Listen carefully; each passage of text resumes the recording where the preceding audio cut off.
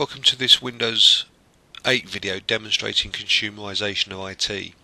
As part of this video I will be using a machine that is running Windows 8 from a USB disk so demonstrating the whole Windows to go model that's now available.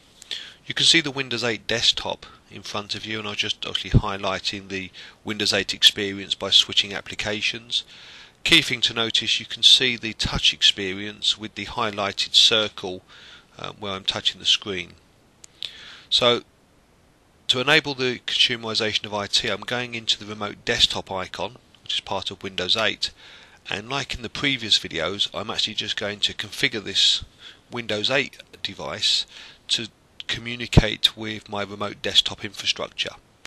So this video is going to demonstrate the same model we've seen on the Windows Slate uh, using Windows 7 by actually leveraging a virtual desktop infrastructure uh, system running as a pooled machine and have the applications deployed onto that machine based on the user that requests those applications. So as per all the other videos, Leanne. So we're just uh, finishing off entering the URL needed to uh, connect to the um, uh, remote desktop services infrastructure. So because this is using Windows to go, all of this type of configuration could actually be pre-done so that effectively when you give the user their USB stick uh, they can literally just plug that into any device they want and they would then be able to uh, access the corporate services within your network. Obviously this experience could be exactly the same if for example this was a Windows 8 slate um, or a Windows 8 home machine. So having entered the uh, URL, just need to specify the credentials. So again, as per all the other videos, I'm supplying the uh, Fisher credentials. Once the credentials are entered, it should hopefully show me that I have um, a resource that I can connect to.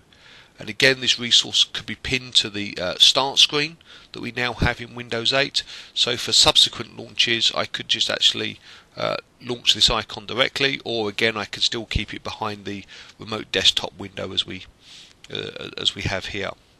So just entering the uh, last part of the password, and we should hopefully get the resources pulled back. So here we can see the virtual desktop infrastructure, so the, the virtual machines which are, which are available to me. So I'll launch the virtual machine by selecting the icon. You'll notice that it says that it's going to wake the virtual machine. So again, as per all my previous videos, uh, our virtual infrastructure could be in some form of power saving mode, so virtual machines could be shut down, could be in some form of hibernated state, and then the machines will start. Now I'm going to let this run at natural normal speed so there's no editing of the video here. So what you will actually notice is the desktop appearing and then within a few seconds we will actually start to see the applications install.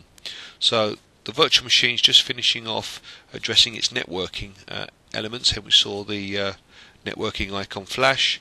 So now we can see the software being delivered and the software is now installed. Um, again as exactly the same as with the Windows Slate experience. It's used a virtual application to install GIMP.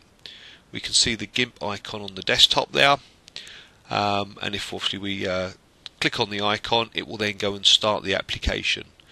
So we're hopefully going to start processing the application streaming the content down and actually start the application launch which will take a few seconds for the application to actually fire up so while we're waiting for the application to launch, we're just going to go into the Software Center as part of Configuration Manager 2012 and inside the Software Center again we can see that you know the GIMP Photoshop has been installed and it's only just been installed a, few seconds ago.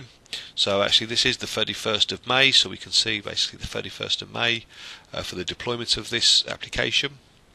Again because it is being deployed and run as a virtual application if we was to go into control panel and go to the programs and features utility well, again we would see that the Microsoft application virtualization clients there but again no GIMP is listed uh, as an application. So again the application hasn't actually been physically installed on this machine.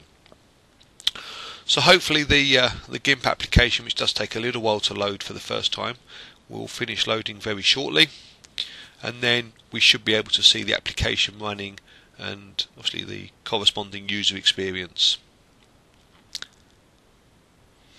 So there's the application and obviously I can start interacting with the application, opening files, accessing applications. So even though, for example, the GIMP application would work on a Windows 8 machine, if you wanted to install it onto that machine natively, you could.